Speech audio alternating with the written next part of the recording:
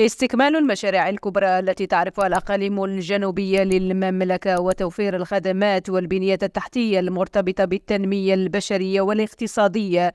كانت واحدة من بين النقط التي أضاءها خطاب الملك محمد السادس بمناسبة ذكرى المسيرة الخضراء.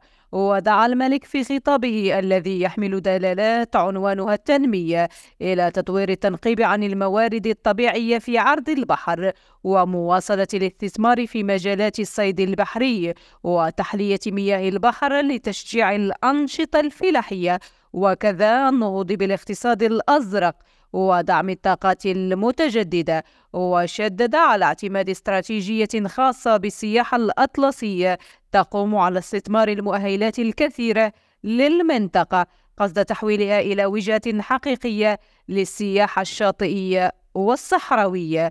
ولم يفته أن يشير إلى تسهيل الربط بين مختلف مكونات الساحل الأطلسي وتوفير وسائل النقل ومحطات اللوجستيك. بما في ذلك التفكير في تكوين أسطول بحري تجاري وطني قوي وتنافسي.